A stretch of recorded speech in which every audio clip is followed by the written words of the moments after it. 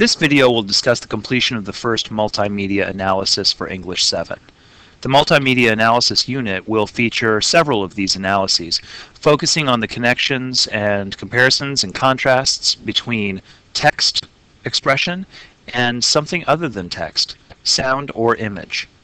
This is the bundle on My Big Campus. As you scroll through, you'll see the first assignment is the multimedia analysis number one, The Outsiders, which was due on Monday, March 24th.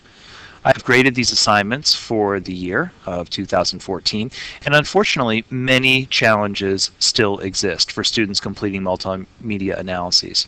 So during this video, I'd like to show you how exactly I would have gone through completing this assignment. I'll take you step by step and help you understand how to succeed on the next one. Here's the assignment. Multimedia Analysis, The Outsiders. This assignment asks you to focus on two sources, a novel source and a film source. The novel source is The Outsiders written by S.E. Hinton, and the film source is The Outsiders directed by Francis Ford Coppola. So, a film and a novel. And I have links to the scenes that I should examine for the film. And I can use my digital copy of the novel for evidence. I have that available right here. So first, I must understand that I'm talking about these two different sources. Source 1 is my novel source. Source 2 is my film source. As I read through the assignment, I can read the discussion. Authors use words as descriptive language to set scenes. Filmmakers use color, lighting, set, and actors to do the same. In this activity, we will examine how S.E. Hinton describes the setting of the church and countryside in Windrixville and the scene of Dally's death, compared to how Francis Ford Coppola depicts it on film. So it seems that I'm about to explore how the same scene can find expression in both text and sound and image in film. Okay, good enough. I have a general overview of what's going on. It seems like a simple compare-contrast sort of assignment. Scroll down, and I have concepts. Descriptive language, cinematography, mise-en-scène. Well, certainly I understand some of these concepts, but I definitely don't understand all of them. So, descriptive language I've probably learned before, words that appeal to the five senses. Cinematography, the use of light and color in film. This could be a little bit confusing, but the assignment says watch tutorials for more information. Let's pause there for a moment. What am I doing? First, I am reading the assignment. I've done that then I should watch tutorial videos and take notes. Hmm. The assignment has asked me to understand the concepts, and those seem pretty central to completing the writing. Watch the tutorials. Those, of course, are available on my big campus. Here is a tutorial. Here is a second, a third, and a fourth. And all of these deal with film concepts. The film concepts that are covered here in cinematography and mise-en-scène. I watch those, but more importantly than just watching those, I take notes. Students often fail to take notes while watching film tutorials or video tutorials of any sort. This means they're probably watching the tutorial and not paying much attention to it. So I will make sure to take notes while I'm watching. I'll pause and write something down every once in a while, and that way I'll understand what's going on. Let's say I've done that. The next step is to understand the writing task. And here's the task. Write a supported analysis that discusses how the two depictions of the Windrixville setting and The Outsiders compare or contrast. And then another task. Write a supported analysis that discusses how the two depictions of the death of Dally in The Outsiders compare or contrast. Okay, two different prompts. I'll take a look at this first one. They seem like separate activities. At this point, I am understanding the writing task. I'm trying to understand exactly what my teacher wants of me. Then I see below writing guidance. Well, this assignment shows me exactly how to complete it. Your written discussion should follow this format. Topic, sentence, discussion of style, and source one. It looks like my teacher has given me all sorts of charting, mapping, and direction for how to complete the assignment. So I've read my prompt, and now I see a six-step model for how to write this paragraph. That leads me to believe that I'll write about six sentences, maybe some more, but definitely I'll focus on at least six. A topic sentence, I seem to understand that. Discussion of style in source 1. What does he mean by style? Evidence from source 1. Okay, I understand what that is. What's source 1? Oh, yeah. It's the novel. That's what was listed above. Style in source 2, once again, not quite sure what that means. What is source 2? Well, source 2 seems to be the film. And of course, a conclusion sentence is pretty simple. Throughout the discussion, use the language from the concept section above. Take notes during class discussion to help. The concepts section, that means this. This must be what style means. So style in source 1, that must be descriptive language. Because source 1 is the novel. Source 2, what is this? This strange thing of cinematography. could mean light, color, or this mise en scène,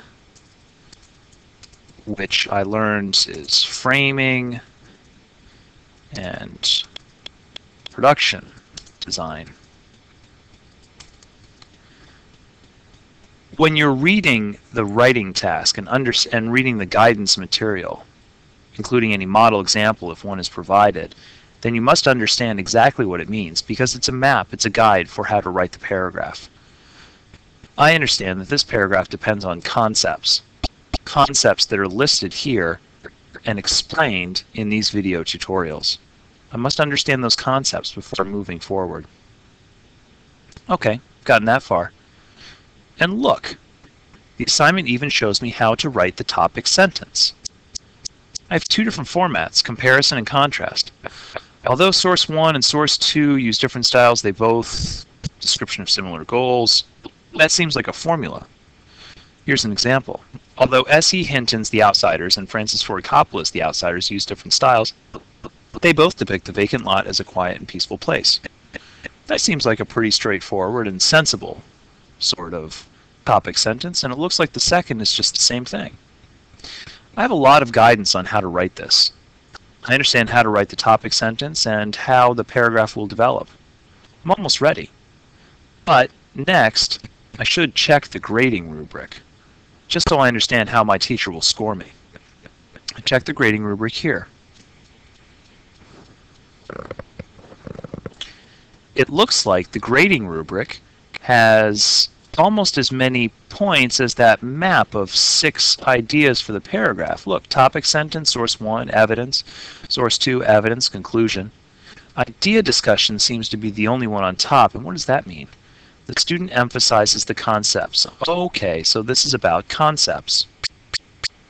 This rubric relates to these six points. So I understand that I must do each one in order to score full points. And I can read this rubric in more detail to see what exactly it entails. So I have checked the grading rubric. All right. I think it might be about ready to go. So when I'm thinking about this, what's next? Well, I've got to view these clips. I haven't viewed them yet. So let's say that I will view, excuse me, the Dallas getting killed clip. I understand my color and light discussion. I'm watching this, and as I watch it, sometimes I pause. Interesting that the image presents mostly blue and black, dark colors. It's a dark scene. There's very little light. In fact, where are the light sources? Oh, I see some light there from the cars. Oh, light from the street lamps, and look at that. Mist fog obscuring everything. So low light, blue and black, fog. Oh, and look at that framing. Notice that I'm pausing the image and taking a look at what I can see through analysis. Fog, black, blue, a little bit of green, but it's pretty dark. Low lighting. I've got quite a lot to talk about here. So, I'll take some notes. Film. Low light, blue and black, fog. That relates to what was discussed in the film tutorials talking about color and light. What's next? Oh, I must gather evidence, and that means that I've gotten that information from the clip, but I also need information from here. The task is to see how S.E. Hinton's text and the film compare or contrast, so I need to find Dallas's death here in the text. Let's see if I can find that. Scrolling through. Hmm. Okay. Haven't found it yet. oh wait, there it is. We reached the vacant lot just as Dally came in running as hard as he could from the opposite direction. It looks like this is the discussion.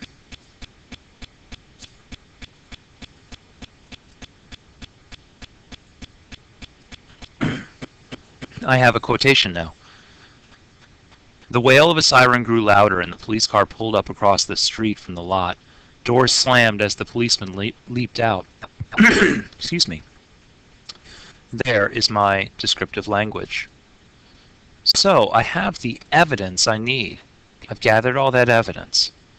And now I'll review this format. Topic sentence, discussion of style, evidence from source. my rubric says that my topic sentence uses the proper format and clearly expresses an idea. Okay, well, I'm supposed to use the format. And do I want to say they're the same or do I want to say they're different? I think I'll go for different. So let's try this. Both S E Hinton's The Outsiders and Francis Ford Coppola's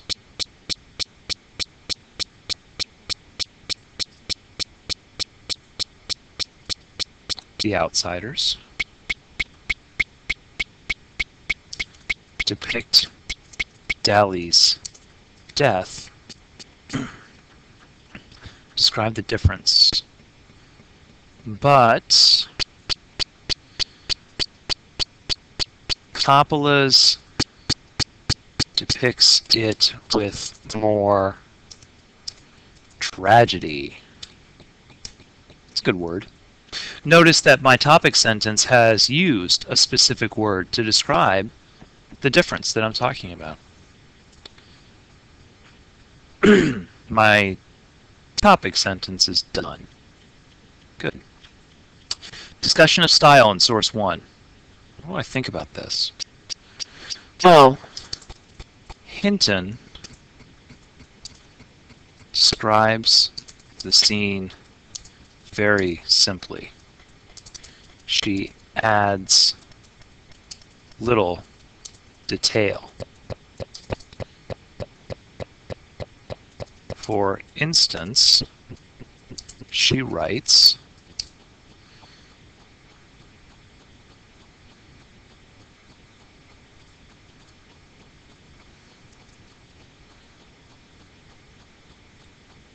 go. I just talked about the style in source 1, how she's really simple with what she's doing, and then I provided evidence. Done. Notice that I've used a quotation for descriptive language. It's best to use a quotation with descriptive language. now I need a transition.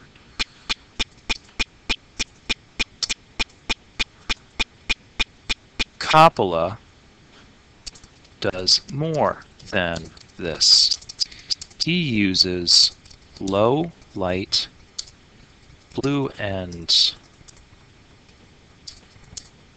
black colors and fog to intensify the tragedy of the scene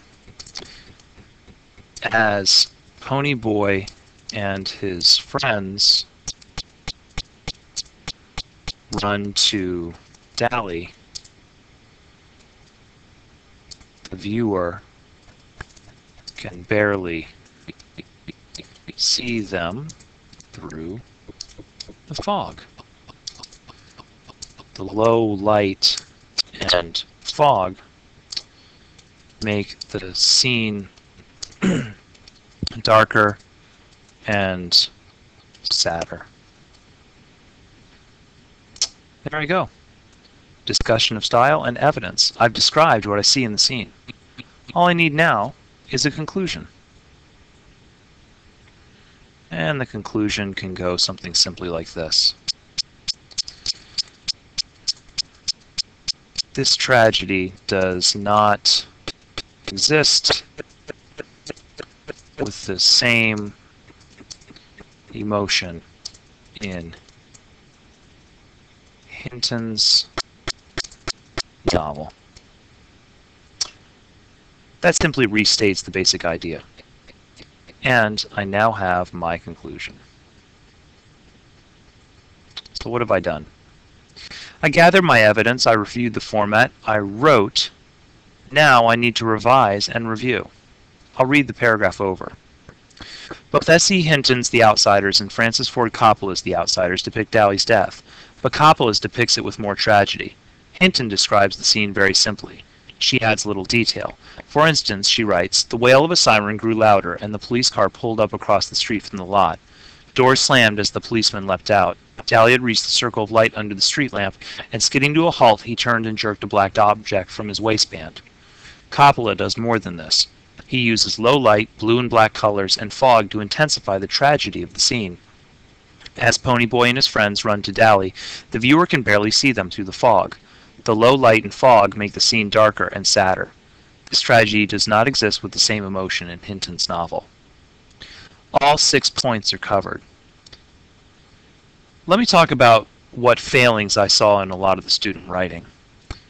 I didn't see quotation marks for evidence in source 1. I saw very little description of the actual scene for evidence in source 2. I saw a very brief and general discussion of the style in, uh, in both, but I didn't see the specific, clear evidence that I wanted. And that comes from quotation marks and concrete description of what the image looks like. I also saw topic sentences that did not follow this format. So here's my inference. I think students are doing this. I think you're reading the assignment. I think you're watching the tutorial videos, but I believe you're not taking notes and probably not paying attention. I think that you, of course, are viewing the clips, and then I think that you're writing. I know that you're writing. I'm not sure how much more of this you're doing. You read an assignment, you watch some tutorials, you watch clips, and then you write. Maybe you sort of understand the writing task, but you haven't done any of this. At least not very clearly you barely gather evidence because I haven't seen very much in there.